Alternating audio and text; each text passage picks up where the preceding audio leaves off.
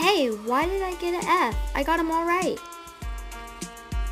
Yeah, but your handwriting was so bad. I wanted to give you an F. But that's not fair.